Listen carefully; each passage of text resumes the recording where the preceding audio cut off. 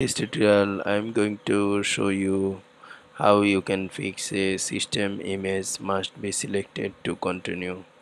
So from where it's coming I'm going to show you from the beginning.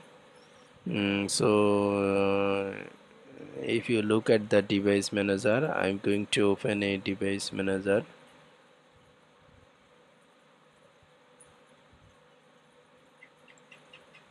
and you can see here is the create device.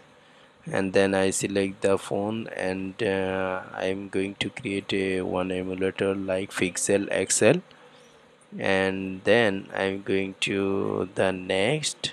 And you can see if I select this a system image must be selected to continue. So what I have to do I need to download these things and it start to download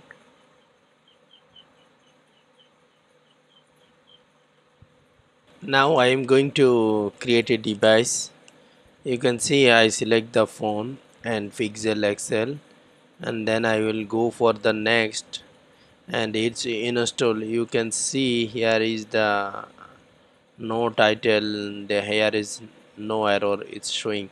So I will put the next and it will create the device for Android okay that was the tutorial. Thank you for watching